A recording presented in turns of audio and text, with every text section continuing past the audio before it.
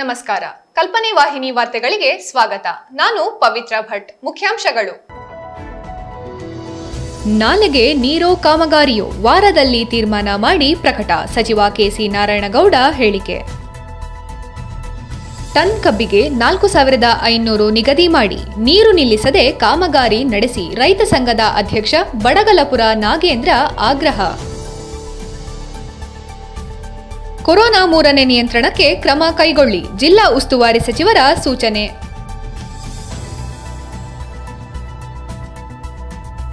ಜಿಲ್ಲೆಯೆಲ್ಲೆಡೆ ನಾಡಪ್ರಭು ಕೆಂಪೇಗೌಡರಿಗೆ ನಮನ.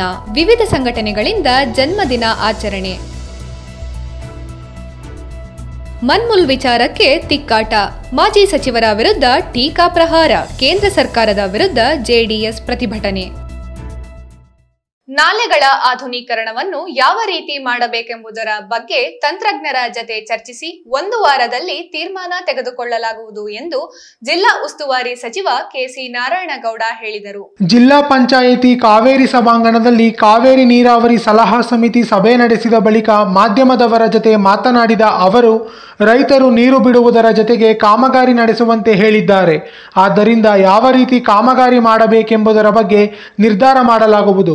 ಮನ್ಮೂಲ್ ವಿಚಾರದಲ್ಲಿ ಎಷ್ಟೇ ದೊಡ್ಡವರಿದ್ದರೂ ಕಾನೂನು ಕ್ರಮ ಕೈಗೊಳ್ಳಲಾಗುವುದು ಎಂದರು. ನೀರನ್ನ ಬಿಡೋದಕ್ಕೆ ಏನು ಇದನ್ನು ತಗೋಬೇಕು ಅದು ಎರಡು ವರ್ಷ ಹಿಂದೆ ಆಗಿರುವಂಥ ಟೆಂಡರ್ ಅದಕ್ಕೆ ರೈತರುಗಳಿಗೆ ಸೌಲಭ್ಯಗಳನ್ನು ಕೊಟ್ಟು ಏನಾದರೂ ಬಿಡ್ಬೋದಾ? ಅಥವಾ ಹೊಸ ಟೆಕ್ನಾಲಜಿಲಿ ಏನಾದರೂ ಮಾಡ್ಬೋದಾ ಅನ್ನೋದೊಂದು ಅದೊಂದು ಚರ್ಚೆ ಇತ್ತು. ಅದು ಇನ್ನೊಂದು ವಾರ ಹತ್ತು ದಿವಸದಲ್ಲಿ ತಜ್ಞರ ಮತ್ತು ಇವರನ್ನ ನಾವು ಸಲಹೆಗಳನ್ನು ತಗೊಂಡು ಅದನ್ನು ತೀರ್ಮಾನ ತಗೊಳ್ತೀವಿ ಅಂತ ಹೇಳಿಕ್ಕೆ ಬಯಸ್ತಾ ಇದ್ದೀನಿ. ನೋಡಿ ಮನ್ಮೂಲ್ದ ತನಿಖೆ ನಾವು ಅವ್ರಿಗೆ ನಮ್ಮ ಸೋಮಶೇಖರ್ ಅವರು ಅಲ್ಲಿ ಎರಡು ಮೀಟಿಂಗನ್ನು ಮಾಡಿದ್ದಾರೆ. ಅದನ್ನು ಇಂಕ್ವೈರಿ ನಡೀತಾ ಇದೆ. ಎಸ್ ಪಿ ನಮ್ಮ ಪೊಲೀಸ್ ಖಾತೆ ಇದರಲ್ಲೂ ನಡೀತಾ ಇದೆ. ಮತ್ತೆ ಅದು ತನಿಖೆ ನಡೆದು ಯಾರೇ ಆಗಲಿ ಯಾರೇ ಆಗಲಿ ರೈತರಿಗೆ ಅನ್ಯಾಯ ಆಗುವಂಥ ಕೆಲಸಗಳು ಮಾಡಬಾರ್ದು. ಅವ್ರಿಗೆ ತಕ್ಕೆ ಶಿಕ್ಷೆ ತಕ್ಕ ಶಿಕ್ಷೆ ಸಿಕ್ಕೇ ಸಿಗುತ್ತೆ ಅಂತ ಹೇಳಿದ್ದೆ ಜಿಲ್ಲೆಯಲ್ಲಿ ಕಿಟ್ ವಿತರಿಸಲು ಯಾವುದೇ ರಾಜಕೀಯ ಸಮಾವೇಶ ಮಾಡಬಾರದು. ತಹಸೀಲ್ದಾರ್ಗಳು ಯಾರಿಗೂ ಅನುಮತಿ ನೀಡಬಾರದು. ಬೇಕಿದ್ದರೆ ಮನೆ ಮನೆಗೆ ಹೋಗಿ ಕಿಟ್ ವಿತರಿಸಲಿ ಎಂದರು. ತಪ್ಪು ಅದು. ಯಾಕೆ ಅಂತ ಹೇಳಿದ್ರೆ ಪ್ರೋಟೋಕಾಲ್ ಅದು. ಅವರು ದುಡಿತಾ ಇರೋ ಸತ್ಯ. ನಾನೇ ಈ ಜಿಲ್ಲೆಯಲ್ಲಿ ಒಂದೊಂದೂವರೆ ತಿಂಗಳು ನೋಡಿದೆ. ಹಗಲಿರಳು ದುಡ್ದಿದ್ದಾರೆ. ರಾಜಕಾರಣ ಮಾಡಕ್ಕೆ ಹೋಗ್ಬಾರ್ದು. ಅವ್ರಿಗೆ ಜವಾಬ್ದಾರಿ ಇದೆ, ಆ ಜವಾಬ್ದಾರಿ ನಿಭಾಯಿಸ್ತಾ ಇದ್ರೆ ಇನ್ನೂ ಅವ್ರಿಗೆ ನಾವು ಸಪೋರ್ಟ್ ಮಾಡಬೇಕೇ ವಿನ ಡಿಗ್ರೇಡ್ ಮಾಡಬಾರ್ದು ಅಂತ ಹೇಳಿಕ್ ಬಯಸ್ತಾರೆ ಕೋವಿಡ್ ಮೂರನೇ ಅಲೆಯನ್ನು ಸಮರ್ಪಕವಾಗಿ ನಿಯಂತ್ರಿಸಲು ಅಗತ್ಯ ಸಿದ್ಧತೆಗಳನ್ನು ಕೈಗೊಳ್ಳಿ. ಪ್ರತಿನಿತ್ಯ ಹೆಚ್ಚು ಕೋವಿಡ್ ಪರೀಕ್ಷೆ ಮಾಡಿ ಎಂದು ಜಿಲ್ಲಾ ಉಸ್ತುವಾರಿ ಸಚಿವ ಕೆಸಿ ನಾರಾಯಣಗೌಡ ಅಧಿಕಾರಿಗಳಿಗೆ ಸೂಚಿಸಿದರು. ಜಿಲ್ಲಾ ಪಂಚಾಯತ್ ಕಾವೇರಿ ಸಭಾಂಗಣದಲ್ಲಿ ಕೋವಿಡ್ ಹತ್ತೊಂಬತ್ತು ಕುರಿತು ಪ್ರಗತಿ ಪರಿಶೀಲನಾ ಸಭೆಯಲ್ಲಿ ಮಾತನಾಡಿದ ಅವರು, ಪ್ರತಿನಿತ್ಯ ನಾಲ್ಕು ಸಾವಿರದ ಐನೂರು ಪರೀಕ್ಷೆ ಮಾಡಿ ಲಸಿಕಾಕರಣವನ್ನು ಹೆಚ್ಚು ಮಾಡಿ ತಾಲೂಕುವಾರು ಆರೋಗ್ಯ ಸಿಬ್ಬಂದಿಗೆ ಮೂರನೇ ಅಲೆಯ ನಿರ್ವಹಣೆ ಬಗ್ಗೆ ತರಬೇತಿ ನೀಡಿ ಕೊರೋನಾ ನಿಯಮಗಳನ್ನು ಕಟ್ಟುನಿಟ್ಟಾಗಿ ಜಾರಿಗೊಳಿಸಿ ಮಾಸ್ಕ್ ಧರಿಸದವರಿಗೆ ಸಾಮಾಜಿಕ ಅಂತರ ಉಲ್ಲಂಘಿಸಿದವರ ಮೇಲೆ ಕಠಿಣ ಕ್ರಮ ಜರುಗಿಸಿ ಎಂದು ಸೂಚಿಸಿದರು. ಜಿಲ್ಲೆಯಲ್ಲಿ ಆಹಾರ ಕಿಟ್ ವಿತರಣೆ ಹಾಗೂ ಇತರ ಸಭೆಗಳಲ್ಲಿ ರಾಜಕಾರಣಿಗಳು ಬಂದಾಗ ಹೆಚ್ಚು ಜನರು ಸೇರುತ್ತಿರುವುದನ್ನು ನಿರ್ಬಂಧಿಸಿ. ಮಕ್ಕಳ ಹಾಲು ಪೌಡರನ್ನು ಕಾಳಸಂತೆಯಲ್ಲಿ ಮಾರಾಟ ಮಾಡುತ್ತಿರುವ ಅಧಿಕಾರಿಗಳನ್ನು ಅಮಾನತು ಮಾಡಿ ಎಂದು ಮಹಿಳಾ ಮತ್ತು ಮಕ್ಕಳ ಕಲ್ಯಾಣ ಇಲಾಖೆಯ ಉಪನಿರ್ದೇಶಕರಿಗೆ ಹೇಳಿದರು.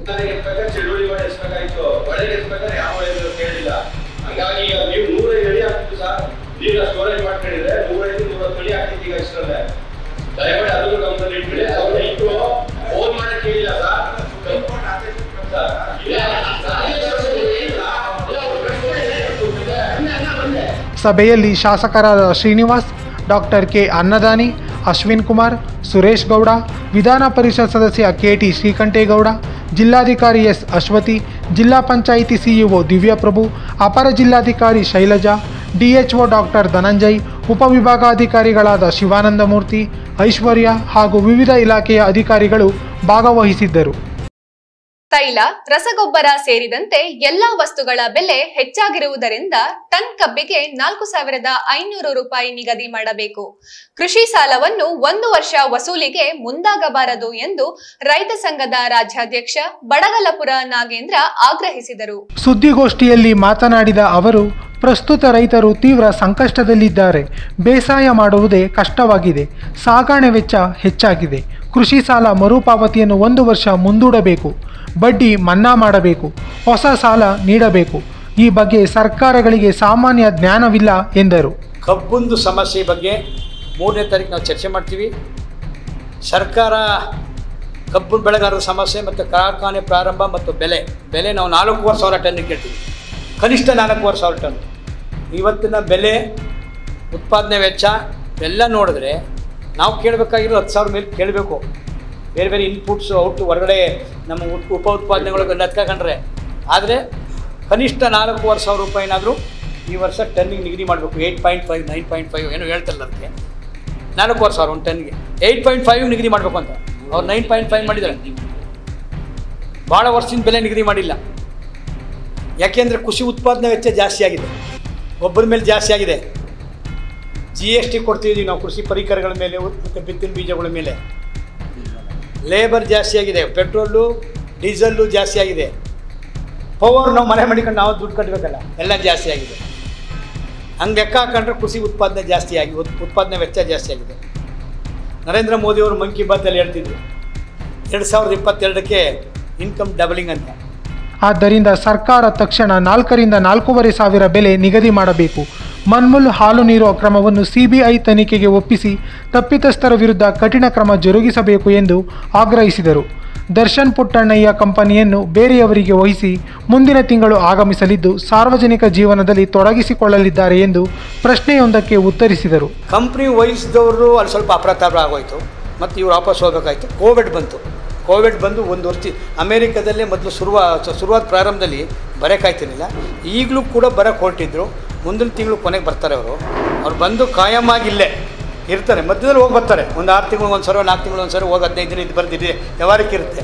ಪೂರ್ಣವಾಗಿ ಸಾರ್ವಜನಿಕ ಜೀವನದಲ್ಲಿ ತೊಡಸ್ಕೊಳ್ತೀವಿ ಅಂತ ಹೇಳಿದರೆ ಅದು ಈಗ ನೆನ್ನೆ ಮೊನ್ನೆ ಎಲೆಕ್ಷನ್ ನಿಂತಿದ್ದಲ್ಲ. ಅದು ಅವ್ರ ಹತ್ತು ವರ್ಷದಲ್ಲೂ ಕೂಡ ಅವ್ರ ತಂದೆ ಜೊತೆ ಚರ್ಚೆ ಮಾಡಿ ಸಾರ್ವಜನಿಕ ಜೀವನಕ್ಕೆ ಬರಬೇಕು ಅಂತಿತ್ತು. ಸುಮ್ಮನೆ ಅಧಿಕಾರದ ಎಂ ಎಲ್ ಎ ಆಗಬೇಕು, ಎಂ ಪಿ ಆಗಕ್ಕಲ್ಲ. ಸಾರ್ವಜನಿಕ ಜೀವನದಲ್ಲಿದ್ದು ನಾನು ಸರ್ವಿಸ್ ಮಾಡಬೇಕು ಅನ್ನೋಂಥ ಇಂಟೆನ್ಷನ್ ಇದೆ ಅವರಿಗೆ. ಅದರಿಂದ ಈಗ ಬರದೇ ಕಾರಣ ಕೋವಿಡ್ ಕಾರಣದಿಂದ. ಜಿಲ್ಲಾಧ್ಯಕ್ಷ ಕೆಂಪುಗೌಡ ಲಿಂಗರಾಜು ರವಿಕುಮಾರ್ ಶಂಕರ್ ಮರಿಚನ್ನೇಗೌಡ ಗೋಷ್ಠಿಯಲ್ಲಿದ್ದರು. ನಾಡಪ್ರಭು ಕೆಂಪೇಗೌಡರ ದೂರದೃಷ್ಟಿ ಮತ್ತು ದಕ್ಷತೆ ಜನಸೇವೆಯಲ್ಲಿ ತೊಡಗಿರುವ ಪ್ರತಿಯೊಬ್ಬರಿಗೂ ಮಾದರಿ ಎಂದು ಅಪರ ಜಿಲ್ಲಾಧಿಕಾರಿ ವಿಆರ್ ಶೈಲಜಾ ಹೇಳಿದರು. ಭಾನುವಾರ ಜಿಲ್ಲಾಧಿಕಾರಿ ಕಚೇರಿ ಸಭಾಂಗಣದಲ್ಲಿ ನಡೆದ ನಾಡಪ್ರಭು ಕೆಂಪೇಗೌಡರ ಐನೂರ ಹನ್ನೆರಡನೇ ಜಯಂತಿ ಅಂಗವಾಗಿ ಅವರ ಭಾವಚಿತ್ರಕ್ಕೆ ಜಿಲ್ಲಾಧಿಕಾರಿ ಎಸ್ ಅಶ್ವತಿ ಹಾಗೂ ಗಣ್ಯರು ಪುಷ್ಪಾರ್ಚನೆ ಮಾಡಿದರು. ನಂತರ ಮಾತನಾಡಿದ ಶೈಲಜಾ, ಹೆಮ್ಮೆಯ ಕನ್ನಡಿಗ ಬೆಂಗಳೂರು ನಗರದ ನಿರ್ಮಾತೃ, ಕಾಡನ್ನು ನಗರವನ್ನಾಗಿ ಮಾಡಿದ ಧೀರ ನಾಡಪ್ರಭು ಕೆಂಪೇಗೌಡ ಎಂದರು. ಯಲಹಂಕದ ಏನು ಒಂದು ಸಾಮಂತರಿದ್ರು ನಮ್ಮ ಕೆಂಪೇಗೌಡರ ವಂಶಸ್ಥರು.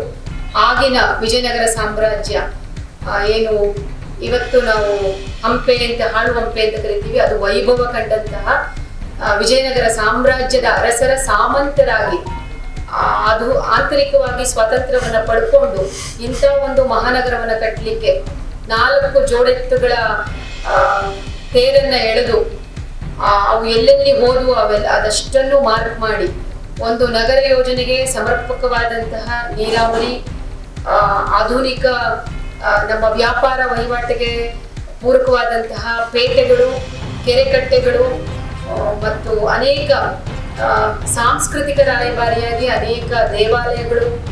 ಎಲ್ಲ ಜನಾಂಗಗಳಿಗೆ ಜನಾನುರಾಗಿಯಾಗಿ ಕೆಲಸ ಮಾಡಿದ್ರಿಂದ ಅವರಿಗೆ ನಾಡಪ್ರಭು ಅನ್ನುವಂತಹ ಹೆಸರು ಬಂತು. ಜಿಲ್ಲಾ ಪಂಚಾಯಿತಿ ಸಿಇಒ ದಿವ್ಯಪ್ರಭು ಕನ್ನಡ ಮತ್ತು ಸಂಸ್ಕೃತಿ ಇಲಾಖೆಯ ಸಹಾಯಕ ನಿರ್ದೇಶಕ ಉದಯ್ ಕುಮಾರ್, ಒಕ್ಕಲಿಗರ ಒಕ್ಕೂಟದ ರಾಜ್ಯಾಧ್ಯಕ್ಷ ಬಾಣಸವಾಡಿ ನಾಗಣ್ಣ, ಮಾನವ ಹಕ್ಕುಗಳ ರಾಜ್ಯಾಧ್ಯಕ್ಷೆ ರಜನಿ ರಾಜ್, ನೀನಾ ಪಾಟೀಲ್, ನಗರಸಭಾ ಸದಸ್ಯೆ ಸೌಭಾಗ್ಯ ಮತ್ತಿತರರು ಉಪಸ್ಥಿತರಿದ್ದರು. ಇಂಧನ ಬೆಲೆ ಏರಿಕೆ ಖಂಡಿಸಿ ಜೆಡಿಎಸ್ ನಾಯಕರು ಕಾರ್ಯಕರ್ತರು ಜಿಲ್ಲಾಧಿಕಾರಿ ಕಚೇರಿ ಬಳಿ ಪ್ರತಿಭಟನೆ ನಡೆಸಿ ಕೇಂದ್ರ ಹಾಗೂ ರಾಜ್ಯ ಸರ್ಕಾರದ ವಿರುದ್ಧ ಧಿಕ್ಕಾರ ಕೂಗಿ ಆಕ್ರೋಶ ವ್ಯಕ್ತಪಡಿಸಿದರು. ಕೊರೋನಾ ಸೋಂಕಿನ ಮೊದಲ ಹಾಗೂ ಎರಡನೇ ಅಲೆ ಹರಡುವಿಕೆ ನಿಯಂತ್ರಿಸುವಲ್ಲಿ ರಾಜ್ಯ ಮತ್ತು ಕೇಂದ್ರ ಸರ್ಕಾರ ಸಂಪೂರ್ಣ ವಿಫಲವಾಗಿವೆ. ಜನತೆ ಲಾಕ್ಡೌನ್ನಿಂದ ಬಾಧಿತರಾಗಿ ಸಂಕಷ್ಟದಲ್ಲಿ ಸಿಲುಕಿದ್ದು, ಜೀವನ ನಿರ್ವಹಣೆ ಮಾಡುವುದೇ ಸವಾಲಾಗಿರುವ ಸಂದರ್ಭದಲ್ಲಿ ಪೆಟ್ರೋಲ್, ಡೀಸೆಲ್ ವಿದ್ಯುತ್, ರಸಗೊಬ್ಬರ ಸೇರಿದಂತೆ ಎಲ್ಲ ಬೆಲೆಗಳು ಗಗನಕ್ಕೇರಿವೆ ಎಂದು ಕಿಡಿಕಾರಿದರು ಕೇಂದ್ರ ಮತ್ತು ರಾಜ್ಯ ಸರ್ಕಾರದ ಜನವಿರೋಧ ನೀತಿ ಮತ್ತು ಬೆಲೆ ಏರಿಕೆಯನ್ನು ಖಂಡಿಸಿ ಇವತ್ತು ಇಡೀ ರಾಜ್ಯಾದ್ಯಂತ ಒಂದು ವಾರಗಳಿಂದ ನಾವು ಸತತವಾಗಿ ಎಲ್ಲ ತಾಲೂಕು ಹೆಡ್ ಕ್ವಾರ್ಟರ್ಗಳಲ್ಲಿ ರಾಜ್ಯ ಮತ್ತು ಕೇಂದ್ರ ಸರ್ಕಾರದ ಬೆಲೆ ಏರಿಕೆ ವಿರುದ್ಧವಾಗಿ ನಾವು ಚಳುವಳಿಯನ್ನು ಮಾಡಿಕೊಂಡು ಜಿಲ್ಲಾಧಿಕಾರಿಗಳು, ತಾಲೂಕು ತಾಲೂಕು ಆಫೀಸರ್ ಮೂಲಕ ನಾವು ಅದನ್ನು ಸರ್ಕಾರಕ್ಕೆ ಕಳಿಸ್ತಕ್ಕಂಥ ಕೆಲಸವನ್ನು ಪಕ್ಷದ ಆದೇಶದ ಮೇಲೆ ಮಾಡ್ಕೊಂಡ್ಬಂದಿದ್ದೀವಿ ಅದರಂತೆ ಮಂಡ್ಯ ವಿಧಾನಸಭಾ ಕ್ಷೇತ್ರದಲ್ಲಿ ಇವತ್ತು ತಾಲೂಕು ಅಧ್ಯಕ್ಷರು ಜಿಲ್ಲಾಧ್ಯಕ್ಷರ ನಗರಾಧ್ಯಕ್ಷಗಳ ನೇತೃತ್ವದಲ್ಲಿ ಇವತ್ತು ಜಿಲ್ಲಾಧಿಕಾರಿಗಳ ಮೂಲಕ ರಾಜ್ಯ ಸರ್ಕಾರಕ್ಕೆ ಮನವಿಯನ್ನು ಕೊಟ್ಟಿದ್ದೀವಿ. ಏನು ಪೆಟ್ರೋಲ್, ಡೀಸೆಲ್, ವಿದ್ಯುತ್ ಶಕ್ತಿ, ಅಡಿಗೆ ಅನಿಲಗಳ ಬೆಲೆಯನ್ನು ಏರಿಕೆ ಮಾಡಿ ಕೊರೋನಾ ಸಂದರ್ಭದಲ್ಲಿ ಜನಗಳ ಮೇಲೆ ಹೊರೆ ಹಾಕ್ತಿದ್ದಾರೋ ಅದನ್ನು ಖಂಡಿಸ್ತೀವಿ. ಅದರ ವಿರುದ್ಧವಾಗಿ ಮುಂದಿನ ದಿನಗಳಲ್ಲಿ ಕೊರೋನಾ ಕಮ್ಮಿ ಆದ ನಂತರ ದಿನಗಳಲ್ಲಿ ದೊಡ್ಡ ಮಟ್ಟಕ್ಕೆ ಪ್ರತಿಭಟನೆಯನ್ನು ಮಾಡ್ತೀವಿ. ತಕ್ಷಣ ಎಲ್ಲ ಬೆಲೆಗಳ ನಿಯಂತ್ರಣಕ್ಕೆ ಸರ್ಕಾರ ಕ್ರಮ ಕೈಗೊಳ್ಳಬೇಕೆಂದು ಆಗ್ರಹಿಸಿ ಜಿಲ್ಲಾಧಿಕಾರಿ ಕಚೇರಿ ಅಧಿಕಾರಿ ಸ್ವಾಮಿಗೌಡರಿಗೆ ಮನವಿ ಪತ್ರ ಸಲ್ಲಿಸಿದರು.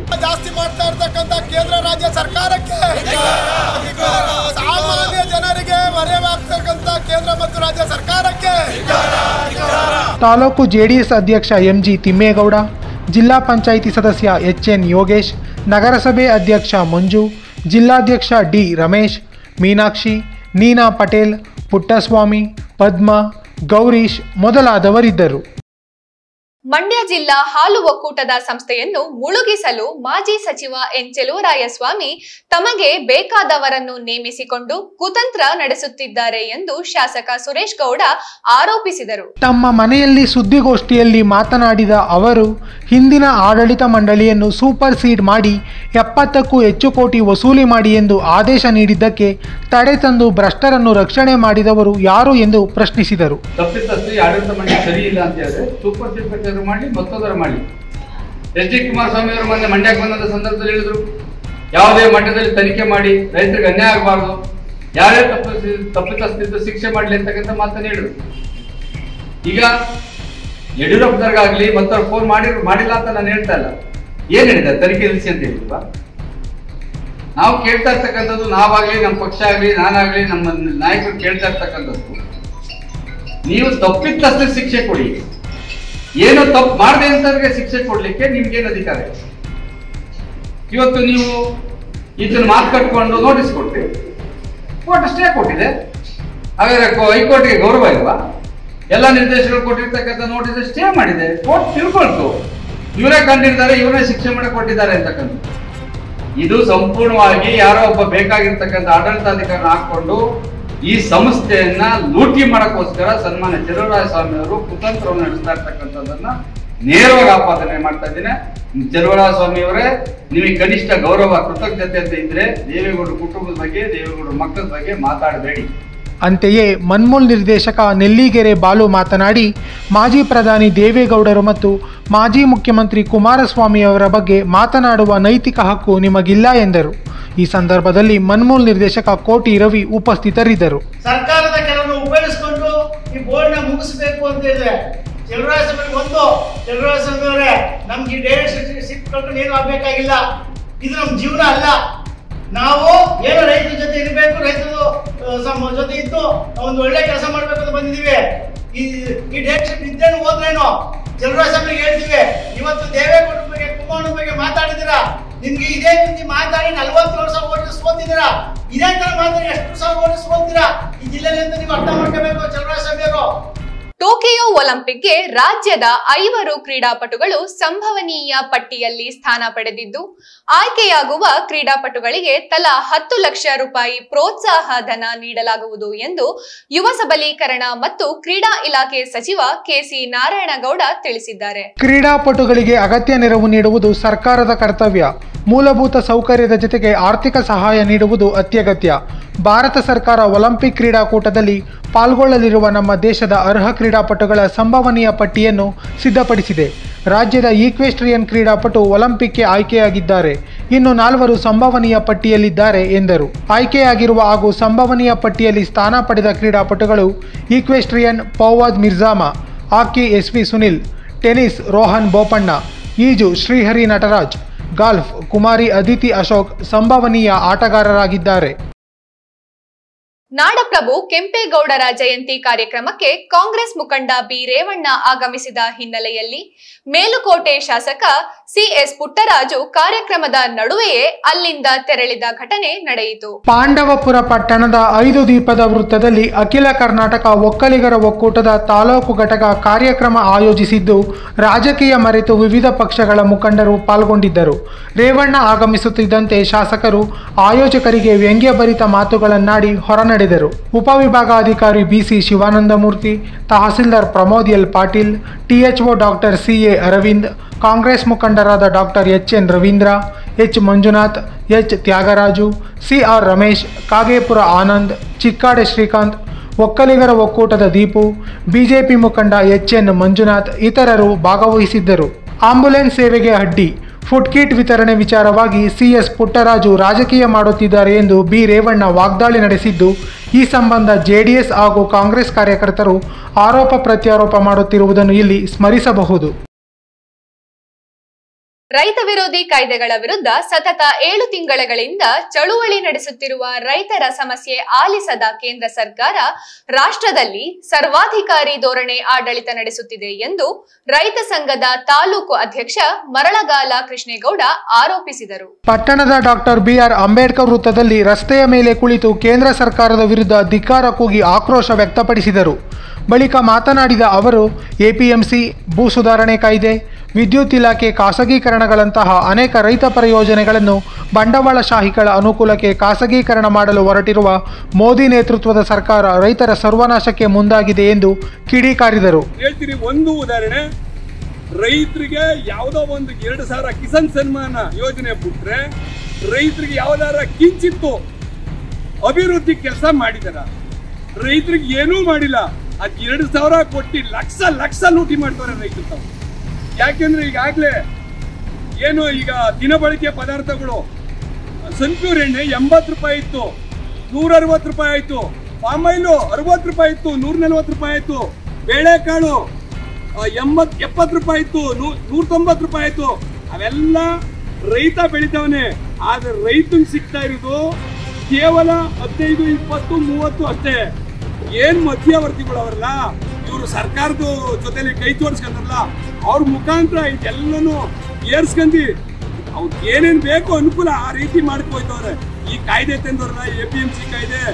ಎ ಪಿ ಎಂ ಸಿ ಕಾಯ್ದೆ ಬಂದ್ಬಿಟ್ಟು ಹಂಗಾಗೋಯ್ತೆ, ಹಿಂಗಾಗೋಯ್ತೆ ಎಂದು ಸರ್ಕಾರ ಇಡ್ತಾ ಇಲ್ಲದೆ ಹೋದ್ರೆ ಇವರು ತಂದ್ರಲ್ಲ, ಸಾವಿರದ ಎಂಟುನೂರು ರೂಪಾಯಿ ಅಂತ ಮಾಡಿದ್ರಲ್ಲ ಯಾವನಾರೋ ಒಬ್ಬ ಪ್ರೈವೇಟ್ ಅವನು ಸಾವಿರದ ಎಂಟುನೂರು ಪತ್ತಾಯ್ತಾ ಇದ್ದಾನೆ, ಸಾವಿರದ ಮುನ್ನೂರು ತೆಗಿತಾವನೆ. ಯಾಕೆ ಕೇಳ್ತಾ ಇಲ್ಲ? ರೈತ ಮುಖಂಡ ಬಿ ಎಸ್ ರಮೇಶ್ ಕಡತನಾಳು ಬಾಲಕೃಷ್ಣ ನೆಲಮನೆ ಕಾಳೇಗೌಡ ಅಗ್ರಹಾರ ಶಂಕರೇಗೌಡ ದರಸಗುಪ್ಪೆ ನಾಗೇಂದ್ರ ಮಹದೇವಪುರ ಜಯರಾಮೇಗೌಡ ನಾಗೇಂದ್ರ ಕೂಡಲಕುಪ್ಪೆ ತಮ್ಮಣ್ಣ ತಡಗವಾಡಿ ನಿಂಗೇಗೌಡ ಸೇರಿದಂತೆ ಹಲವರು ಭಾಗಿಯಾಗಿದ್ದರು. ಈಗ ವಿರಾಮ ವಿರಾಮದ ನಂತರ ವಾರ್ತೆಗಳು ಮುಂದುವರಿಯುತ್ತದೆ. ಪ್ರಿಯ ವೀಕ್ಷಕರೇ ನಿಮ್ಮ ಉದ್ಯಮ ವ್ಯಾಪಾರ ಕೇಂದ್ರಗಳ ಬಗ್ಗೆ ಹೆಚ್ಚು ಪ್ರಚಾರವಾಗಬೇಕೇ? ಹಾಗಿದ್ರೆ ತಡ ಯಾಕೆ? ನಿಮ್ಮ ನೆಚ್ಚಿನ ಕಲ್ಪನೆ ಟಿವಿ ಸಂಪರ್ಕಿಸಿ. ಕಡಿಮೆ ದರದಲ್ಲಿ ಉತ್ತಮ ಪ್ರಚಾರ ಪಡೆಯಿರಿ. ಜಾಹೀರಾತು ಕೊಡಲು ಸಂಪರ್ಕಿಸಿ ಒಂಬತ್ತು ಎಂಟು ನಾಲ್ಕು ನಾಲ್ಕು ಎರಡು ಮೂರು ಆರು ಒಂಬತ್ತು ಆರು ಮೂರು ಹಾಗೂ ಏಳು ಎಂಟು ಒಂಬತ್ತು ಒಂಬತ್ತು ಸೊನ್ನೆ ನಾಲ್ಕು ಒಂದು ಒಂದು ಏಳು ಐದು. ವಿವಿಧ ಮಾದರಿಯ ನಂದಿನಿ ಆಯುರ್ವೇದ ಗುಣವುಳ್ಳ ಹಾಲು ಈಗ ನಿಮ್ಮ ಆರೋಗ್ಯ ರಕ್ಷಣೆಗೆ. ಅಜಾಟೆಡ್ ಆಯುರ್ವೇದಿಕ್ ಹಾಲಿನ ಪ್ಯಾಕ್, ಈ ವೈವಿಧ್ಯ ಹಾಲು ಚಿಣ್ಣರು ಸೇರಿ ಎಲ್ಲಾ ವಯೋಮಾನದವರಿಗೂ ಪುಷ್ಟಿದಾಯಕ. ಅರಿಶಿನ, ಕಾಳುಮೆಣಸು, ಅಶ್ವಗಂಧ, ಶುಂಠಿ, ಲವಂಗ, ತುಳಸಿಯ ಅಂಶಗಳೊಂದಿಗೆ ಅವುಗಳ ಎಲ್ಲ ಔಷಧೀಯ ಗುಣಗಳನ್ನು ಈ ಹಾಲು ಹೊಂದಿದೆ. ಇದು ಇಮ್ಯುನಿಟಿ ಬೂಸ್ಟರ್ ಆಗಿರುವ ಸ್ಟೆರಿಲೈಸ್ ಸುವಾಸಿತ ಹಾಲು. ಕೋವಿಡ್ ಹತ್ತೊಂಬತ್ತು ಸಂಕಷ್ಟ ಕಾಲದ ಶಕ್ತಿವರ್ಧಕ. ಐದು ಆಯುರ್ವೇದಿಕ್ ಹಾಲು ಖರೀದಿಸಿ ಒಂದು ಅರಿಶಿನ ಹಾಲು ಉಚಿತವಾಗಿ ಪಡೆಯಿರಿ. ಮನ ಮನೆಗಳಲ್ಲೂ ನಂದಿನಿ. ಮತ್ತೊಮ್ಮೆ ವಾರ್ತೆಗಳಿಗೆ ಸ್ವಾಗತ. ಅಖಿಲ ಕರ್ನಾಟಕ ಒಕ್ಕಲಿಗರ ಒಕ್ಕೂಟದ ವತಿಯಿಂದ ನಾಡಪ್ರಭು ಕೆಂಪೇಗೌಡರ ಐನೂರ ಹನ್ನೆರಡನೇ ಜಯಂತಿಯನ್ನು ಹಲಗೂರಿನ ಪ್ರಮುಖ ವೃತ್ತದಲ್ಲಿ ಆಚರಿಸಲಾಯಿತು. ಕಾರ್ಯಕ್ರಮದಲ್ಲಿ ಮುಖಂಡರಾದ ಡಿ ಉಮೇಶ್ ಮಾತನಾಡಿ ಹಂಪಿಯ ವೈಭವವನ್ನು ನೋಡಿದ್ದ ಯಲಹಂಕ ಪ್ರಭು ಕೆಂಪೇಗೌಡರು ಬೆಂಗಳೂರಿನಲ್ಲಿ ಕೆರೆ ಕಟ್ಟೆಗಳನ್ನು ಕಟ್ಟಿದ್ದು ಉತ್ತಮ ನಗರ ನಿರ್ಮಾಣ ಮಾಡಿದ್ದಾರೆ. ಅವರ ಜನ್ಮದಿನವನ್ನು ವರ್ಷಕ್ಕೊಮ್ಮೆ ಆಚರಣೆಗೆ ಸೀಮಿತ ಮಾಡದೆ ಅವರ ಆದರ್ಶಗಳನ್ನು ಪಾಲಿಸಬೇಕಿದೆ ಎಂದರು. ಹಂಪಿಯ ವೈಭವವನ್ನು ನೋಡಿ ಆ ಹಂಪಿಯ ವೈಭವದ ರೀತಿಯಲ್ಲಿಯೇ ದಕ್ಷಿಣ ಕರ್ನಾಟಕದಲ್ಲಿ ಕೂಡ ಒಂದು ನಾಡನ್ನ ಕಟ್ಟಬೇಕು ಅನ್ನುವಂಥ ಒಂದು ಕನಸನ್ನ ಹೊತ್ತು ಅವರು ಬೆಂಗಳೂರನ್ನ ನಿರ್ಮಾಣ ಮಾಡಿದ್ರು. ಅದು ಬೆಂಗಳೂರಿಗೆ ಅಷ್ಟೇ ಸೀಮಿತ ಅಲ್ಲ, ಇಡೀ ಕನ್ನಡ ನಾಡಿಗೆ ಸೀಮಿತ. ಇವತ್ತೇನಾದ್ರೂ ಕರ್ನಾಟಕ, ಒಂದು ಕನ್ನಡ ನಾಡು, ಒಂದು ದೇಶದ ಪರಂಪರೆ ಉಳಿದಿದೆ ಅಂದ್ರೆ ಹಾಗೆ ಬೆಂಗಳೂರು ಒಂದು ಮಾದರಿಯಾಗಿದೆ. ಈ ಸಂದರ್ಭದಲ್ಲಿ ಮುಖಂಡರಾದ N K Kumar, Thammannagowda, D Umesh, H M Anand Kumar, Ashwath, Harish, Nagesh ಸೇರಿದಂತೆ ಹಲವರು ಇದ್ದರು. ಸಾರಿಗೆ ಸಂಸ್ಥೆ ನಮ್ಮ ಹೋರಾಟ ಹತ್ತಿಕ್ಕುವ ಪ್ರಯತ್ನ ಬಿಟ್ಟು ಮೂಲಭೂತ ಬೇಡಿಕೆಗಳನ್ನ ಈಡೇರಿಸಿ. ಮತ್ತೆ ಹೋರಾಟಗಳಿಗೆ ಅವಕಾಶ ಕಲ್ಪಿಸದಂತೆ ಕ್ರಮ ಕೈಗೊಳ್ಳಲಿ ಎಂದು ಜಿಲ್ಲಾ ಸಾರಿಗೆ ನೌಕರರ ಸಂಘದ ಅಧ್ಯಕ್ಷ ತಾಳಶಾಸನ ಮೋಹನ್ ಹೇಳಿದರು. ಜುಲೈನಿಂದ ಡಿಸೆಂಬರ್ವರೆಗೂ ಮುಷ್ಕರ ಮಾಡಬಾರದು ಎಂಬ ಸರ್ಕಾರದ ಆದೇಶದ ಹಿನ್ನೆಲೆಯಲ್ಲಿ ಮಾಧ್ಯಮದೊಂದಿಗೆ ಮಾತನಾಡಿದ ಅವರು, ನ್ಯಾಯಾಲಯ ಮಧ್ಯ ಪ್ರವೇಶ ಮಾಡಿ ನೌಕರರನ್ನು ವಜಾ ಮಾಡುವುದು ವರ್ಗಾವಣೆ ಮಾಡಬಾರದು ಎಂದು ಆದೇಶಿಸಿದ್ದರೂ, ಎಲ್ಲ ಕಡೆ ಅದು ಜಾರಿಯಾಗಿಲ್ಲ. ಆದರೆ ಸರ್ಕಾರ ಹೋರಾಟ ಮಾಡದಂತೆ ಆದೇಶ ಹೊರಡಿಸುತ್ತದೆ ಎಂದು ಕಿಡಿಕಾರಿದರು. ಎಷ್ಟು ಸಾಧ್ಯನೋ ಅಷ್ಟು ನೌಕರರಿಗೆ ತೊಂದರೆನೇ ಕೊಡ್ತಾ ಇದ್ದಾರೆ ಹೊರತು ಯಾವುದೇ ಕಾರಣಕ್ಕೂ ನೌಕರರಿಗೆ ಒಂದು ಒಳ್ಳೆ ಕೆಲಸವನ್ನು ಮಾಡ್ತಾ ಇಲ್ಲ. ಏನು ಅಗ್ರಿಮೆಂಟ್ ಆಗಿತ್ತು ಆ ಅಗ್ರಿಮೆಂಟ್ ಇಲ್ಲ ಆರನೇ ವೇತನ ಇಲ್ಲ.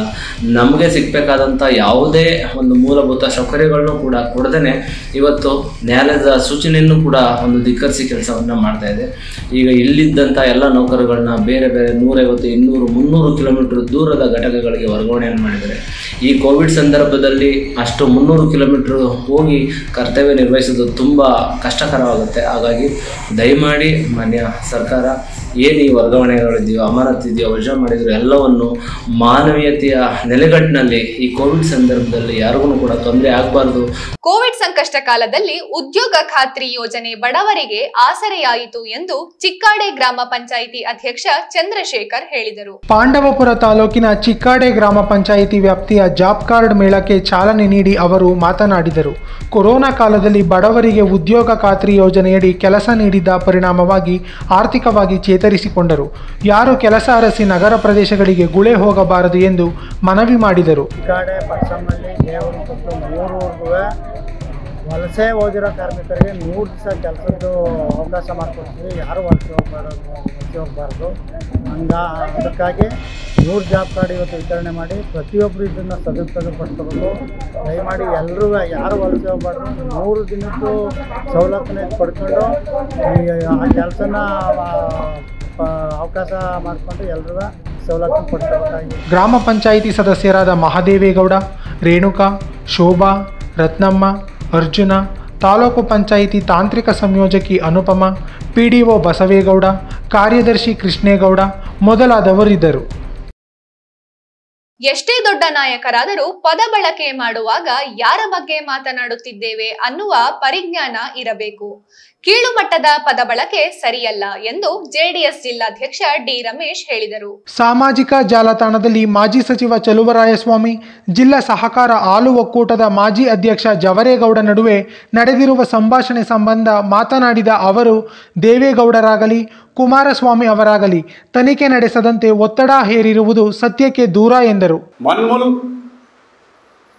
ನಡೆದಿರ್ತಕ್ಕಂಥ ನೀರು ಕಲಬೆರಕೆ ವಿಚಾರ, ಹಾಲು ನೀರಿನ ಕಲಬೆರಕೆ ವಿಚಾರದಲ್ಲಿ ತನಿಖೆ ಮಾಡಬೇಡಿ ಅಂತ ದೇವೇಗೌಡರಾಗಲಿ ಕುಮಾರಸ್ವಾಮಿ ಅವರಾಗಲಿ ಯಾರಿಗೆ, ಯಾವಾಗ, ಎಲ್ಲಿ ಹೇಳಿದ್ದಾರೆ ಅಂತ ಬೇಕು ನನಗೆ.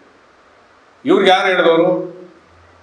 ತುಷಾರ್ ಗಿರಿನಾಥ್ನವ್ರಿಗೆ ನಾನು ಫೋನ್ ಮಾಡಿದೆ, ಕೋಆಪರೇಟಿವ್ ಸೆಕ್ರೆಟರಿ ಅವ್ರಿಗೆ. ಅಲ್ಲೂ ಜಾತಿ ಹೆಸರದ ಯಾಕೆ ಮಾತಾಡಬೇಕು ವೈ ಎಸ್ ಆಫ್ಸರ್ನ? ಅವ್ರ ಜಾತಿ ಕೇಳಿದವ್ರು ನಿಮ್ಮನ್ನ ಪಾಪ ಅವ್ರು ಗೌರವಸ್ಥರು, ಸಂಭಾವಿತರು ಅವ್ರ ಕೆಲಸ ಅವ್ರು ಮಾಡ್ಕೊಂಡು ಹೋಗ್ತಾರೆ.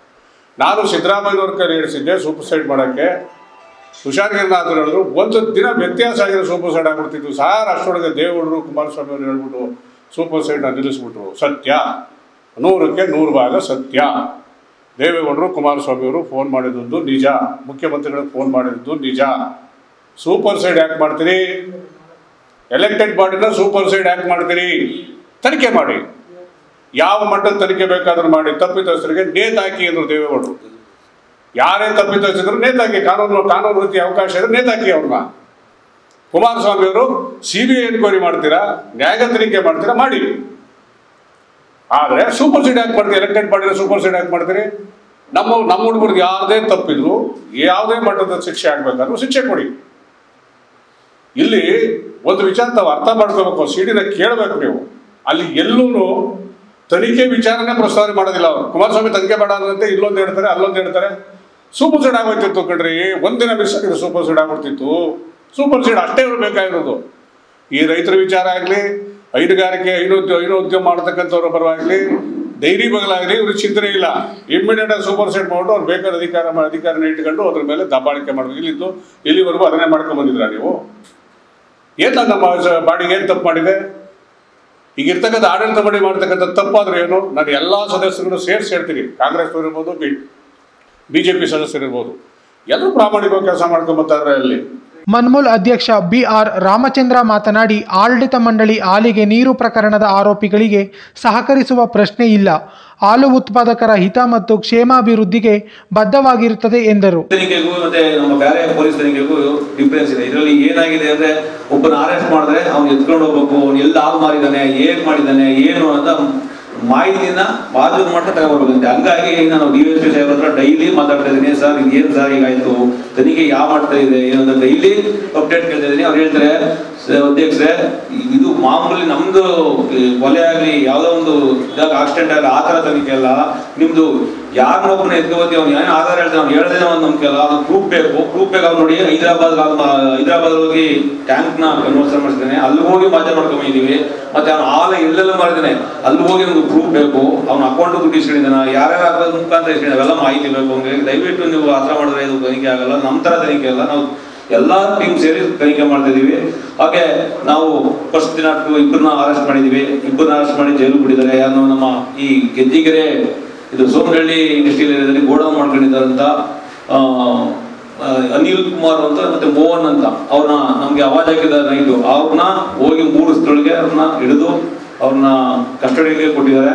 ನೆಕ್ಸ್ಟ್ ಅದಾದ್ಮೇಲೆ ಮೋಹನ್ ಕುಮಾರ್ ಅಂತ ಒಬ್ಬ ಮತ್ತೆ ರಂಗನಾಥ್ ಅಂತ ಗೋಕುಲ್ ಪ್ರವೀಣ್ ಡೈರಿ ಅವ್ರನ್ನು ಅರೆಸ್ಟ್ ಮಾಡಿದ್ದಾರೆ. ಪ್ರದೀಪ್ ಅಂತ ಒಬ್ಬ ಡ್ರೈವರು ಮತ್ತೆ ಮಧು, ಪಿ ರಂಜನ್ ಬಾಮಯ್ಯದ ಮಧು ಅನ್ನೋರು ಸಹ ಅರೆಸ್ಟ್ ಮಾಡಿದ್ದಾರೆ. ಗೋಷ್ಠಿಯಲ್ಲಿ ಒಕ್ಕೂಟದ ಉಪಾಧ್ಯಕ್ಷ ರಘುನಂದನ್, ನಿರ್ದೇಶಕರಾದ ನೆಲ್ಲಿಗೆರೆ ಬಾಲು, ಕೆಆರ್ಪೇಟೆ ಮಂಜು, ಕೋಟಿ ರವಿ, ಜೆಡಿಎಸ್, ಐಟಿ ಸೆಲ್ನ ನವೀನ್ ಉಪಸ್ಥಿತರಿದ್ದರು. ಕೃಷ್ಣರಾಜಪೇಟೆ ತಾಲೂಕಿನ ಕಿಕ್ಕೇರಿ ಸಮೀಪದ ತೊಳಸಿ ಗ್ರಾಮದ ವೃತ್ತದಲ್ಲಿ ನಾಡಪ್ರಭು ಕೆಂಪೇಗೌಡರ ಐನೂರ ಹನ್ನೆರಡನೇ ವರ್ಷದ ಜಯಂತ್ಯೋತ್ಸವವನ್ನು ಸರಳವಾಗಿ ಆಚರಣೆ ಮಾಡಲಾಯಿತು. ಲಕ್ಷ್ಮೀಪುರ ಗ್ರಾಮ ಪಂಚಾಯಿತಿ ಅಧ್ಯಕ್ಷ ತುಳಸಿ ರಮೇಶ್ ಜಿಲ್ಲಾ ಪಂಚಾಯಿತಿ ಮಾಜಿ ಉಪಾಧ್ಯಕ್ಷ ಕೆಎಸ್ ಪ್ರಭಾಕರ್ ಮನ್ಮೂಲ್ ನಿರ್ದೇಶಕ ಕೆಜಿ ತಮ್ಮಣ್ಣ ಮೊದಲಾದವರು ಕೆಂಪೇಗೌಡರ ಭಾವಚಿತ್ರಕ್ಕೆ ವಿಶೇಷ ಪೂಜೆ ಸಲ್ಲಿಸಿದರು. ಐನೂರ ಹನ್ನೆರಡನೇ ಜಯಂತ್ಯೋತ್ಸವ. ನಾಡಪ್ರಭು ಕೆಂಪೇಗೌಡರು ಇವತ್ತು ನಮ್ಮ ಸಮಾಜದಲ್ಲಿ ಕೆಲವು ಏನಾಗಿದೆ ಅಂತಂದರೆ ಕೆಲವು ತಪ್ಪು ಕಲ್ಪನೆಗಳು ಹೋಗ್ತಾ ಇದೆ. ನಾಡಪ್ರಭು ಕೆಂಪೇಗೌಡರು ಈ ನಾಡನ್ನ ಕಟ್ಟಿ ಸರ್ವ ಜನಾಂಗಕ್ಕೂ ಒಳ್ಳೇದಾಗ್ಲಿ ಅನ್ನೋ ಒಂದು ಮನೋಭಾವ ಇಟ್ಕೊಂಡು ನಾಡ, ಈ ನಾಡನ್ನ ಕಟ್ಟದಂತ ದೊರೆ.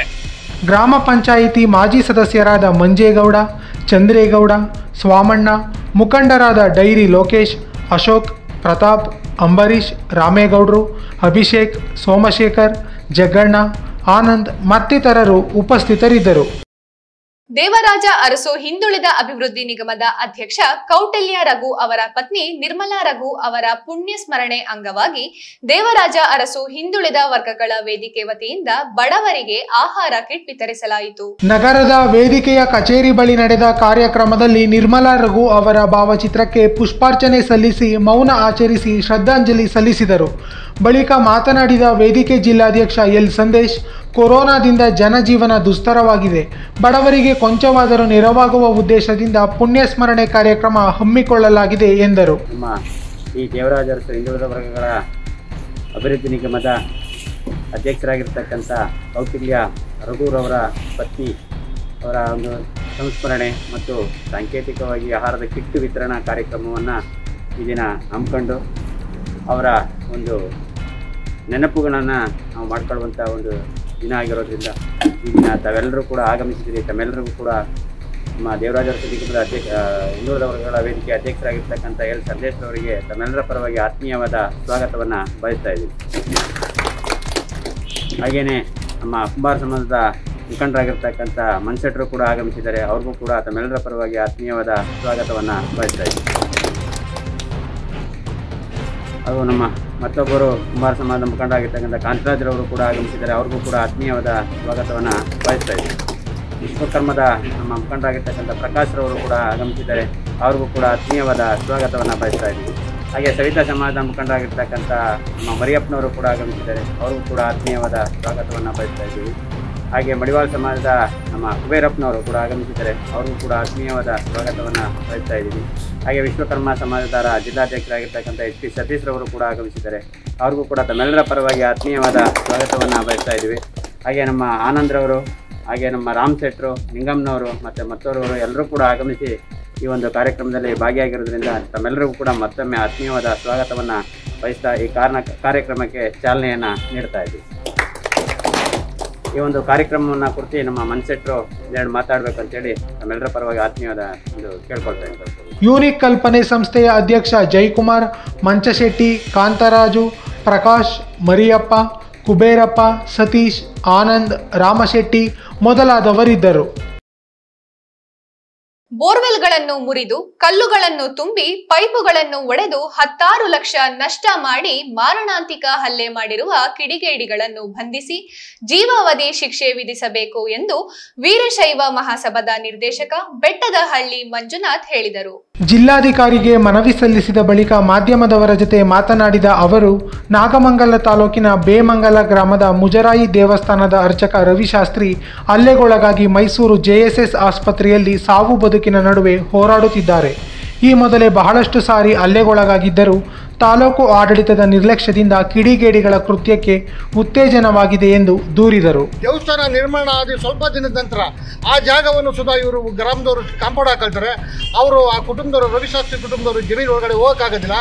ಆವಾಗ ಅವರು ಜಮೀನಲ್ಲಿ ಹೋಗೋಕ್ಕಾಗೋದಿಲ್ಲ, ಬೇರೆಯವರು ಪಕ್ಕದವ್ರು ನಮಗೆ ಬಿಡೋದಿಲ್ಲ ಅಂತ ಕೇಳಿದಾಗ ಅದನ್ನು ಕಾಂಪೌಂಡ್ನ ಹೊಡೆದಾಕ್ತಾರೆ ಆ ವಿಚಾರಕ್ಕೆ ಅವ್ರ ರವಿಶಾಸ್ತ್ರಿ ಅವರ ತಂದೆ ಮತ್ತು ತಾಯಿ ಮೇಲೆ ಮರಣ ಅವಾಗಲೂ ಸುದ ಅಲ್ಲೇ ಮಾಡ್ತಾರೆ. ಅವಾಗಲೂ ಸುದ ತಾಲೂಕು ಆಡಳಿತ, ಆ ಸ್ಥಳೀಯ ಪೊಲೀಸ್ ಅಧಿಕಾರಿಗಳು ಅವ್ರ ಮೇಲೆ ಕ್ರಮ ಕೈಗೊಂಡಿಲ್ಲ. ಅದೇ ಒಂದು ವೀಕ್ನೆಸ್ ಮೇಲೆ ಮೊನ್ನೆ ರವಿಶಾಸ್ತ್ರಿ ಅವ್ರನ್ನ ಈ ರೀತಿ ಎಲ್ಲ ಕಂಪ್ಲೇಂಟ್ ಮಾಡಿದ್ದಾರೆ ಅಂತೇಳಿ ಹಿಂದೆ ಇದೇ ರೀತಿ ಆರು ಬೋರ್ಗಳನ್ನ ಆರು ಬೋರ್ಗಳನ್ನ ನಷ್ಟ ಮಾಡಿ, ಆರು ಬೋರ್ಗೂ ಸುಲಭ ಕಲ್ಲು ತುಂಬಿ ಇವತ್ತು ವ್ಯವಸಾಯಕ್ಕೆ ನೀರಿಲ್ದಂಗೆ ಆಗಿದೆ. ಇವತ್ತು ಭೂಮಿ ಹಸಿರು ಭೂಮಿ ಹೋಗಿ ಬರಡು ಭೂಮಿ ಆಗ್ತಾ ಇದೆ. ಅವ್ರ ಕುಟುಂಬ ಅನೋಗತಿಯಾಗಿದೆ ನಾವು ಬದುಕಬೇಕ ಬೇಡವ ಅನ್ನೋ ಒಂದು ಚಿಂತನೆ ಇದ್ದಾರೆ. ಚಿಕ್ಕಬಳ್ಳಾಪುರದ ಪ್ರಧಾನ ಅರ್ಚಕ ಎಸ್ ಗಣೇಶ್, ಪುರೋಹಿತರಾದ ಹಾಲಸ್ವಾಮಿ, ದಿನೇಶ್ ಕುಮಾರ್, ಎಚ್ ಪಿ ಮಲ್ಲೇಶ್, ಮಂಜು ಹಿರೇಮಠ, ಬಸವರಾಜ ಶಾಸ್ತ್ರಿ ಉಪಸ್ಥಿತರಿದ್ದರು. ಸಭೆ ಮುಗಿಸಿಕೊಂಡು ಹೋಗುವ ವೇಳೆ ಜಿಲ್ಲಾ ಉಸ್ತುವಾರಿ ಸಚಿವ ಕೆಸಿ ನಾರಾಯಣಗೌಡರ ಕಾರು ಕೆಟ್ಟು ನಿಂತ ಪರಿಣಾಮ ನಗರಸಭೆ ಅಧ್ಯಕ್ಷರ ಕಾರಿನಲ್ಲಿ ಪ್ರಯಾಣ ಮುಂದುವರೆಸಿದರು. ಜಿಲ್ಲಾ ಪಂಚಾಯಿತಿ ಸಭೆ ಮುಗಿಸಿಕೊಂಡು ಕಾರನ್ನೇರಿದರು ಆದರೆ ಕಾರು ಸ್ಟಾರ್ಟ್ ಆಗದ ಹಿನ್ನೆಲೆಯಲ್ಲಿ ದುರಸ್ತಿಗೆ ಪ್ರಯತ್ನಿಸಿದರು. ಆದರೆ ಸರಿಯಾಗಲಿಲ್ಲ. ಪರಿಣಾಮ ದುರಸ್ತಿ ಮಾಡಿಸಿಕೊಂಡು ಬರುವಂತೆ ಹೇಳಿ ನಗರಸಭೆ ಅಧ್ಯಕ್ಷರವರ ಕಾರಿನಲ್ಲಿ ತೆರಳಿದರು.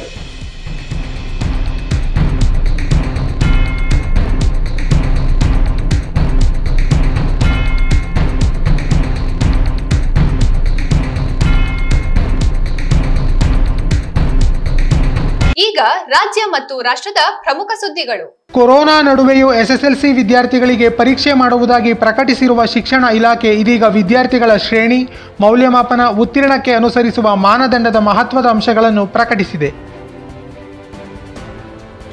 ಜುಲೈ ಹತ್ತೊಂಬತ್ತು ಹಾಗೂ ಇಪ್ಪತ್ತೆರಡರಂದು ಪರೀಕ್ಷೆ ನಡೆಯಲಿದ್ದು, ಎಂಟು ಪಾಯಿಂಟ್ ಎಪ್ಪತ್ತೈದು ಲಕ್ಷ ವಿದ್ಯಾರ್ಥಿಗಳು ಪರೀಕ್ಷೆ ತೆಗೆದುಕೊಂಡಿದ್ದಾರೆ. ಇವರಲ್ಲಿ ಪರೀಕ್ಷೆಗೆ ಹಾಜರಾಗುವ ಎಲ್ಲರನ್ನು ಉತ್ತೀರ್ಣ ಮಾಡಲಾಗುತ್ತದೆ. ಶಾಲೆ ಕೊಡುವ ಮೌಲ್ಯಾಂಕನ ಹಾಗೂ ವಿದ್ಯಾರ್ಥಿಗಳು ಪರೀಕ್ಷೆಯಲ್ಲಿ ಗಳಿಸುವ ಅಂಕ ಆಧರಿಸಿ ನಾಲ್ಕು ಗ್ರೇಡ್ ನೀಡಲಾಗುತ್ತದೆ. ಅದರಲ್ಲಿ ಶಾಲಾ ಮೌಲ್ಯಾಂಕನ ಆಧರಿಸಿ ಪರೀಕ್ಷೆಗೆ ಹಾಜರಾಗುವ ಎಲ್ಲ ವಿದ್ಯಾರ್ಥಿಗಳನ್ನು ಉತ್ತೀರ್ಣ ಮಾಡಲಾಗುತ್ತದೆ ಎಂದು ಶಿಕ್ಷಣ ಇಲಾಖೆ ಪರೀಕ್ಷಾ ವಿಭಾಗದ ನಿರ್ದೇಶಕರು ತಿಳಿಸಿದ್ದಾರೆ. ವಿದ್ಯಾರ್ಥಿಗಳ ಆಂತರಿಕ ಮೌಲ್ಯಮಾಪನ ಅಂಕ ಹಾಗೂ ಪರೀಕ್ಷೆಯಲ್ಲಿ ಗಳಿಸಿದ ಅಂಕ ಪರಿಗಣಿಸಲಾಗುತ್ತದೆ. ಅನುತ್ತೀರ್ಣ ವಿದ್ಯಾರ್ಥಿಗಳಿಗೆ ಕನಿಷ್ಠ ಅಂಕ ನೀಡಿ ಪಾಸು ಮಾಡಲಾಗುತ್ತದೆ. ವಿಷಯಕ್ಕೆ ನಲವತ್ತು ಪ್ರಶ್ನೆಗಳಂತೆ ಒಟ್ಟು ಆರು ವಿಷಯಗಳಿಗೆ ಇನ್ನೂರ ನಲವತ್ತು ಬಹು ಆಯ್ಕೆ ಪ್ರಶ್ನೆ ಕೇಳಲಾಗುತ್ತದೆ.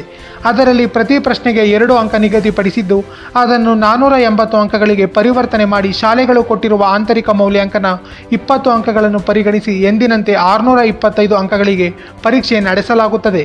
ವಿದ್ಯಾರ್ಥಿಗಳು ತಪ್ಪು ಉತ್ತರ ಬರೆದರೆ ನಕಾರಾತ್ಮಕ ಅಂಕ ಕಡಿತವಿಲ್ಲ. ಸರಿ ಉತ್ತರಕ್ಕೆ ಪ್ರತಿ ಪ್ರಶ್ನೆಗೆ ಎರಡು ಅಂಕಗಳನ್ನು ನೀಡಲಾಗುತ್ತದೆ.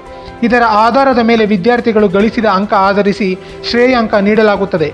ಶೇಕಡ ತೊಂಬತ್ತರಿಂದ ನೂರು ಅಂಕ ಗಳಿಸಿದರೆ ಎ ಪ್ಲಸ್ ಶ್ರೇಣಿ, ಶೇಕಡ ಎಂಬತ್ತರಿಂದ ಎಂಬತ್ತ ಒಂಬತ್ತು ಅಂಕ ಗಳಿಸಿದರೆ ಎ ಶ್ರೇಣಿ, ಶೇಕಡ ಅರವತ್ತರಿಂದ ಎಪ್ಪತ್ತ ಒಂಬತ್ತು ಅಂಕ ಗಳಿಸಿದರೆ ಬಿ ಶ್ರೇಣಿ, ಶೇಕಡ ಮೂವತ್ತೈದರಿಂದ ಐವತ್ತ ಒಂಬತ್ತು ಅಂಕ ಗಳಿಸಿದರೆ ಸಿ ಶ್ರೇಣಿ ನೀಡಲಾಗುತ್ತದೆ. ಈ ಹಿಂದಿನ ಪರೀಕ್ಷೆಯಲ್ಲಿ ಅನುತ್ತೀರ್ಣರಾಗಿರುವ ವಿದ್ಯಾರ್ಥಿಗಳಿಗೆ ಅನುತ್ತೀರ್ಣ ವಿಷಯಕ್ಕೆ ಸಂಬಂಧಿಸಿದಂತೆ ಬಹು ಆಯ್ಕೆಯ ನಲವತ್ತು ಪ್ರಶ್ನೆಗಳುಳ್ಳ ಪ್ರಶ್ನೆ ಪತ್ರಿಕೆ ನೀಡಲಾಗುತ್ತದೆ. ನಲವತ್ತು ಪ್ರಶ್ನೆಗಳಿಗೆ ನೂರು ಅಂಕ ಎಂದೇ ಪರಿಗಣಿಸಿ ಮೌಲ್ಯಮಾಪನ ಆಧರಿಸಿ ಪರೀಕ್ಷೆ ಫಲಿತಾಂಶ ನೀಡಲಾಗುತ್ತದೆ. ಇಲ್ಲಿ ಪುನರಾವರ್ತಿತ ವಿದ್ಯಾರ್ಥಿಗಳು ಕನಿಷ್ಠ ಅಂಕ ಗಳಿಸಿದರೆ ಮಾತ್ರ ಉತ್ತೀರ್ಣ ಮಾಡಲಾಗುತ್ತದೆ. ಅನುತ್ತೀರ್ಣ ವಿದ್ಯಾರ್ಥಿಗಳಿಗೂ ಮೌಲ್ಯಾಂಕನ ಪರಿಗಣಿಸಿ ಫಲಿತಾಂಶ ಪ್ರಕಟಿಸಲಾಗುತ್ತದೆ ಎಂದು ಶಿಕ್ಷಣ ಇಲಾಖೆ ಸ್ಪಷ್ಟಪಡಿಸಿದ್ದು, ಪುನರಾವರ್ತಿತ ವಿದ್ಯಾರ್ಥಿಗಳಿಗೆ ಪಾಸ್ ಆಗುವ ಸುವರ್ಣ ಅವಕಾಶ ಕಲ್ಪಿಸಿದೆ. ಮರು ಎಣಿಕೆ, ಮರು ಮೌಲ್ಯಮಾಪನ, ಛಾಯಾಪ್ರತಿ ಇಲ್ಲ ಪ್ರಸಕ್ತ ಸಾಲಿನ ಎಸ್ಎಸ್ಎಲ್ಸಿ ಪರೀಕ್ಷೆಗೆ ಸಂಬಂಧಿಸಿದಂತೆ ವಿದ್ಯಾರ್ಥಿಗಳು ಕಡಿಮೆ ಅಂಕ ಬಂತು ಅಂತ ಮರು ಮೌಲ್ಯಮಾಪನಕ್ಕೆ ಅರ್ಜಿ ಹಾಕುವಂತಿಲ್ಲ. ಛಾಯಾಪ್ರತಿ ಪಡೆಯಲು ಮರು ಎಣಿಕೆಗೆ ಆಸ್ಪದ ನೀಡಿಲ್ಲ. ಈ ಆದೇಶ ಪ್ರಸಕ್ತ ಸಾಲಿನ ಪರೀಕ್ಷೆಗೆ ಮಾತ್ರ ಅನ್ವಯವಾಗಲಿದೆ. ಈಗಾಗಲೇ ಎಸ್ಎಸ್ಎಲ್ಸಿಗೆ ದಾಖಲಾಗದ ಪರೀಕ್ಷೆಗೆ ನೋಂದಣಿ ಮಾಡಲಾಗದ ವಿದ್ಯಾರ್ಥಿಗಳಿಗೆ ಪರೀಕ್ಷೆ ಬರೆಯುವ ಅವಕಾಶವಿಲ್ಲ. ಜೊತೆಗೆ ಕೊರೋನಾ ಪಾಸಿಟಿವ್ ಬಂದು ಪರೀಕ್ಷೆಗೆ ಗೈರು ಹಾಜರಾದವರಿಗೆ ಪೂರಕ ಪರೀಕ್ಷೆ ನಡೆಸಲಾಗುತ್ತದೆ ಎಂದು ಶಿಕ್ಷಣ ಇಲಾಖೆ ಪ್ರಕಟಿಸಿದೆ. ದೇಶದ ಹನ್ನೆರಡರಿಂದ ಹದಿನೆಂಟು ವರ್ಷ ಪ್ರಾಯದ ಮಕ್ಕಳಿಗೆ ಜುಲೈ ಅಂತ್ಯ ಇಲ್ಲವೇ ಆಗಸ್ಟ್ ತಿಂಗಳ ಒಳಗಾಗಿ ಕೊರೋನಾ ಲಸಿಕಾ ಅಭಿಯಾನ ಆರಂಭವಾಗಲಿದೆ ಎಂದು ಕೇಂದ್ರ ಸರ್ಕಾರ ಮಾಹಿತಿ ನೀಡಿದೆ. ಜೈಡಸ್ ಕ್ಯಾಡಿಲ ಲಸಿಕೆಯ ಪ್ರಾಯೋಗಿಕ ಪರೀಕ್ಷೆ ಭಾಗಶಃ ಮುಕ್ತಾಯವಾಗಿದೆ. ಹಾಗಾಗಿ ಜುಲೈ ಅಂತ್ಯ ಇಲ್ಲವೇ ಆಗಸ್ಟ್ ತಿಂಗಳೊಳಗೆ ಮಕ್ಕಳಿಗೆ ಲಸಿಕೆ ನೀಡಲಾಗುತ್ತದೆ ಎಂದು ಕೋವಿಡ್ ಹತ್ತೊಂಬತ್ತು ಕಾರ್ಯ ಸಮೂಹದ ಅಧ್ಯಕ್ಷ ಡಾಕ್ಟರ್ ಎನ್ ಕೆ ಅರೋರಾ ಮಾಹಿತಿ ನೀಡಿದ್ದಾರೆ. ಪ್ರಸ್ತುತ ದೇಶದಲ್ಲಿ ಹದಿನೆಂಟು ವರ್ಷ ಮೇಲ್ಪಟ್ಟವರಿಗೆ ಕೊರೋನಾ ಲಸಿಕೆ ಲಭ್ಯವಿದೆ. ದೇಶದಲ್ಲಿ ಕೊರೋನಾ ಮೂರನೇ ಅಲೆಯು ತಡವಾಗಿ ಆರಂಭವಾಗಬಹುದು ಎಂಬ ಐಸಿಎಂಆರ್ ಅಧ್ಯಯನದ ವಿಚಾರವಾಗಿಯೂ ಮಾತನಾಡಿದ ಅವರು, ಆರರಿಂದ ಎಂಟು ತಿಂಗಳ ಒಳಗಾಗಿ ದೇಶದಲ್ಲಿ ರೋಗ ನಿರೋಧಕ ಶಕ್ತಿಯನ್ನು ಹೆಚ್ಚಿಸುವ ಸಲುವಾಗಿ ಒಂದು ಕೋಟಿಗೂ ಅಧಿಕ ಮಂದಿಗೆ ಪ್ರತಿನಿತ್ಯ ಲಸಿಕೆ ನೀಡುವುದು ಸರ್ಕಾರದ ಗುರಿಯಾಗಿದೆ.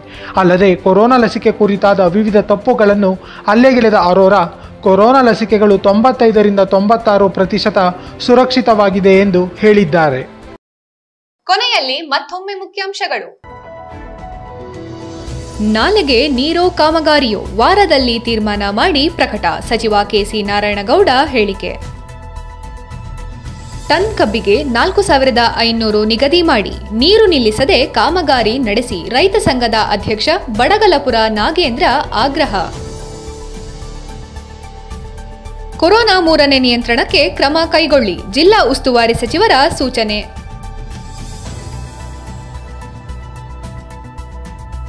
ಜಿಲ್ಲೆಯೆಲ್ಲೆಡೆ ನಾಡಪ್ರಭು ಕೆಂಪೇಗೌಡರಿಗೆ ನಮನ. ವಿವಿಧ ಸಂಘಟನೆಗಳಿಂದ ಜನ್ಮದಿನ ಆಚರಣೆ. ಮನ್ಮುಲ್ ವಿಚಾರಕ್ಕೆ ತಿಕ್ಕಾಟ. ಮಾಜಿ ಸಚಿವರ ವಿರುದ್ಧ ಟೀಕಾ ಪ್ರಹಾರ. ಕೇಂದ್ರ ಸರ್ಕಾರದ ವಿರುದ್ಧ ಜೆಡಿಎಸ್ ಪ್ರತಿಭಟನೆ. ನಮ್ಮ ಕಲ್ಪನೆ ವಾಹಿನಿ ವಾರ್ತೆಗಳು ರಾತ್ರಿ ಹತ್ತು ಮೂವತ್ತು ಹಾಗೂ ಬೆಳಗ್ಗೆ ಎಂಟು ಮೂವತ್ತಕ್ಕೆ ಮರುಪ್ರಸಾರವಾಗಲಿದೆ. ಸುದ್ದಿ ಹಾಗೂ ಮನರಂಜನೆಗಾಗಿ ನೋಡ್ತಾ ಇರಿ ಕಲ್ಪನೆ ವಾಹಿನಿ. ಧನ್ಯವಾದಗಳು.